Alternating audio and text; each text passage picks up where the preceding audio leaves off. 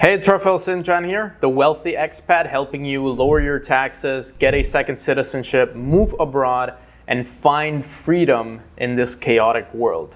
In this video, we're gonna talk about healthcare and health insurance when you are an expat, when you're traveling the world. This is a question that I get a lot, specifically from older older generation people that are looking at my videos and thinking, oh, this guy wants to renounce his US citizenship. He's getting passports from these little islands. He's in this Muslim country. Am I really going to be able to do that lifestyle and also take care of my health? Do these places have good doctors? How can I get insurance in case anything happens? And these are real concerns that are extremely important. And I also take into account a lot of this when I'm picking countries to move to or to build a base in or to get a citizenship and so on. But we need to differentiate what is having a doctor that is always there with you or insurance that always protects you in that country to flexible insurance or flexible places that you can get healthcare from or at least help from a doctor. For example, in my case, I have full coverage health insurance here in the United Arab Emirates in Dubai.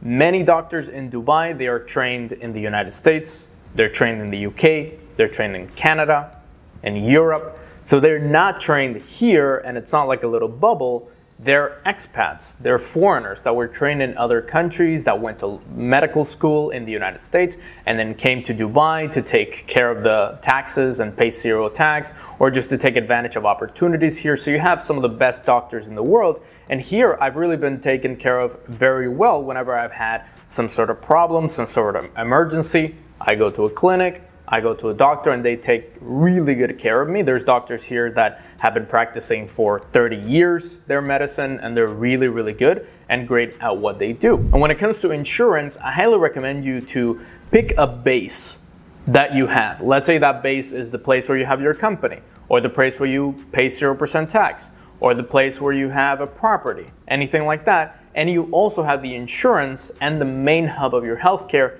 tied to that place. So in my case, Dubai is the place where I have my company, I have my main bank accounts, my assets, my liquid assets are all in Dubai in the United Arab Emirates. Therefore, I also have my insurance here. I have a residence permit that lasts me another two years and I can renew that. So I have that insurance in order if anything happens, I'm very well connected to Dubai and also it's very easy to come here. You can take a flight very quickly from any other country. Let's say an emergency happens and I need to go to Dubai.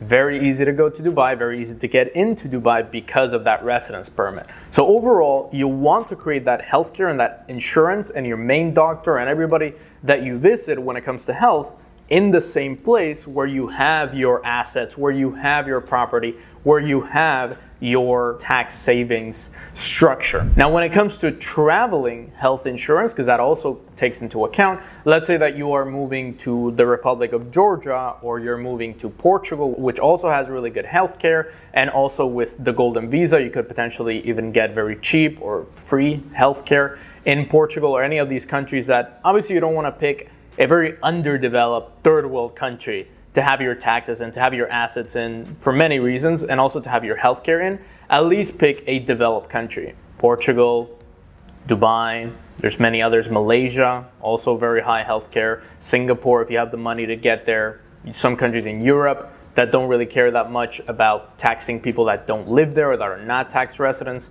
but you could potentially have your doctor and your insurance there. So there's options. I would pick the highest quality one I picked Dubai because it's extremely well developed. Yes, the insurance is expensive. Yes, the doctors are more expensive than other places, but I'm protected in that sense. Then the actual travel insurance, when you are traveling from the main country where you set in or the city where you set in, let's say you come here to Dubai and you set your base in Dubai and you create a company in Dubai, but you're traveling constantly to Europe, you're traveling constantly to Asia, to Latin America, wherever it is, the travel insurance should be different, in my opinion, than your main insurance. Usually, main insurance companies, they'll make it very hard for you to get worldwide coverage because obviously they're not going to take care of you if you are not in that country, if you're not in the city. So for Dubai, for the UAE, for any problems that I have in my health, I have them under the insurance in Dubai. Then for external insurance, I use a company called SafetyWing. Safety Wing has been great Their insurance works really well, specifically when it comes to actually having this pandemic insurance. A lot of countries they ask you for insurance to go there, to travel there, to spend 14 days there or whatever. They've been really great in that sense. There's also World Nomads World Nomads doesn't actually cover some countries and some territories that I really like to go to, specifically Ukraine, for example. They're a little bit hesitant in covering Ukraine, and my wife is Ukrainian. We go to Ukraine all the time, so I really need that. So that's why I actually got into SafetyWing in the first place. Great company. Their insurance works really, really well.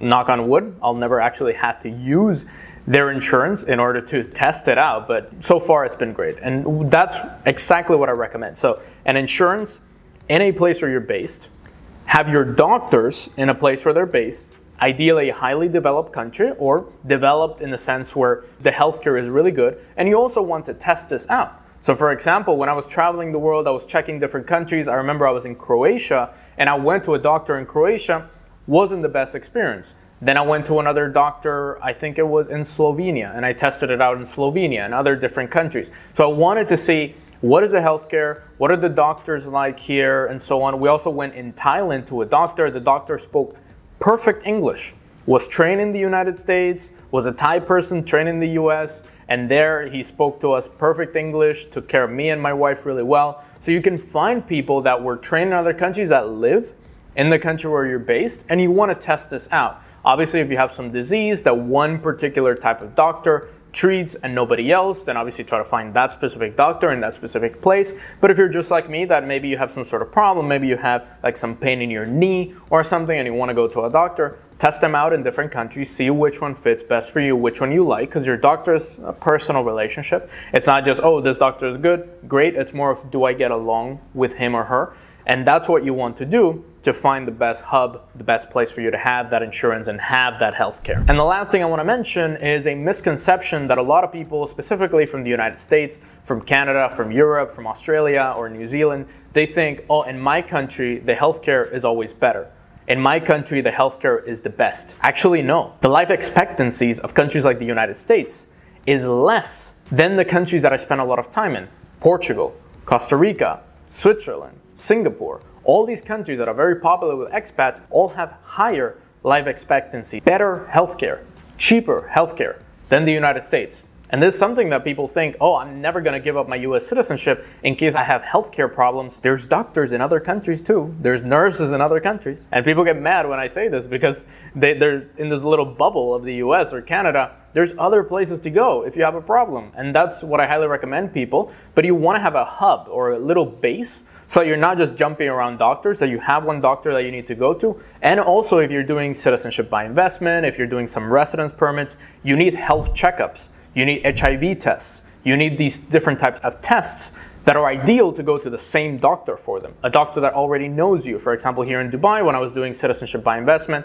and St. Kitts, we needed a health checkup. I went to a doctor that I already knew, that I already trusted. And that's exactly what I recommend. And also have that travel insurance in case anything happens when you are traveling. Always get the highest premium package. Always get the best package, the absolute best thing that you could get. You never know what might happen. You never know what situation you might be in. And saving $20, $30 to then potentially pay $2,000, $3,000 more is absolutely not worth it to pay less now. It's worth it to pay $10 more, $20 more to protect yourself later. So get the absolute best insurance in that hub, get the absolute best travel insurance, and then find your doctor that you feel comfortable with in that place where you're paying less taxes. Thank you for watching this video on the best healthcare and practices that you can do for your health all around the world while paying less taxes. If you want to learn how to pay less tax, how to get a second citizenship, how to move abroad, how to find freedom Find freedom is my metric that I look at when I'm looking at all these countries,